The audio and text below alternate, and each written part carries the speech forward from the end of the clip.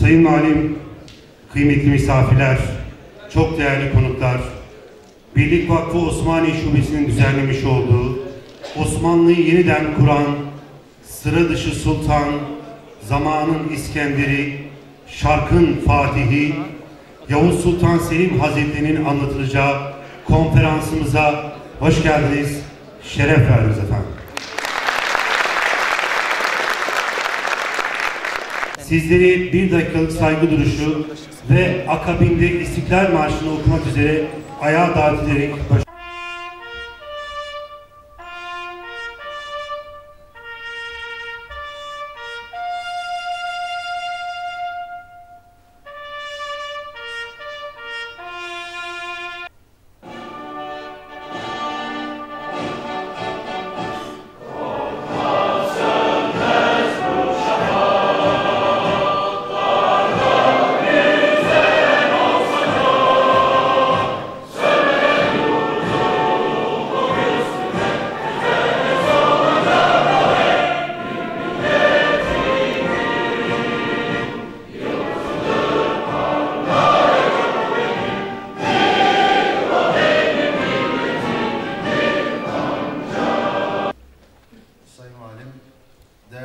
misafirler, vakfımız tarafından tertip edilen Yavuz Sultan Selim Han konulu konferansa hoş geldiniz, şeref verdiniz.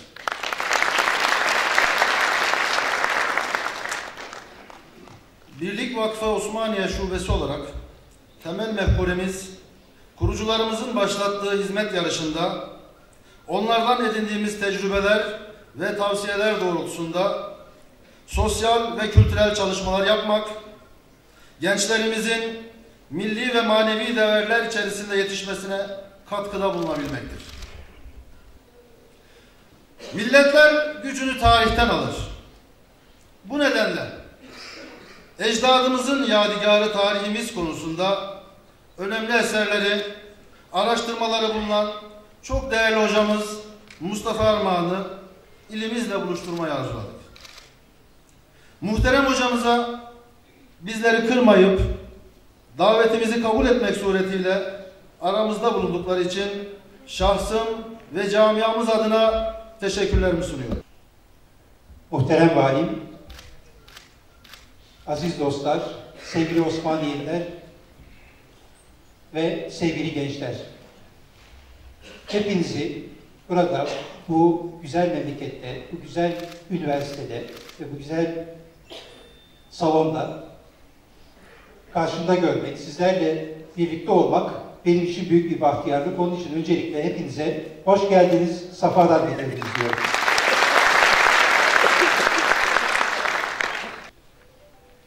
Evet, bizim bir imparatorluğumuz vardı.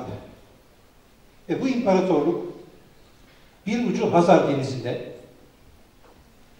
bir ucu Ukrayna'da, Kamaniçe şehrinde, bir ucu Viyana'da, öbür ucu Cebeli Tarık'ta, güneye doğru indiğimiz zaman Mısır'da, Yemen'de ve Hint Okyanusu'nda, daha yukarı çıkarsak Kafkaslar'da ve bütün Karadeniz, üç denizin hakimi bir devletin, Hazar Denizi, Karadeniz, e, Marmara Denizi'nin adı bile okunmaz o zamanlarda, koskoca Akdeniz bizim elimizde ve ayrıca da Hint Okyanusu.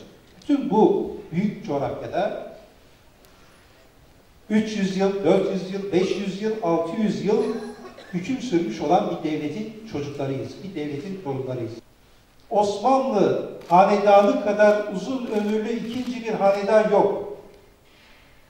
Avusturya'yı da getirsinler üstüne, Fransa'yı da koysunlar üstüne, İngiltere'yi de koysunlar, Rusya'yı da koysunlar. Abbasi'yi de koysunlar, Emevi'yi de koysunlar, Göktürkleri de koysunlar, Uygurları da koysunlar. Hiçbirisi Osmanlı Devleti'nin kurduğu büyük hanedanı geçemez ve onun çapına erişemez. Bir defa Türk ve Osmanlı ve Avrupa tarihinin en büyük devletinin çocuklarısınız, torunlarısınız. Ve bu ilk 10 Osmanlı padişahı Cenab-ı Hakk'ın sadece Türk milletine değil, İslam alemine de en büyük lütuflarından rahmet olsun o büyük insanlar silsilesine. Allah onlardan gani gani razı olsun. Onlara rahmet eylesin. Ee, sizlere de ben e, bu duygularla veda ederken hepinizi saygıyla, sevgiyle, muhabbetle selamlıyorum. Sevgili Osmaniye hoşça kalın. İnşallah bir dahaki sefere yeniden buluşmak üzere. Allah'a emanet olun.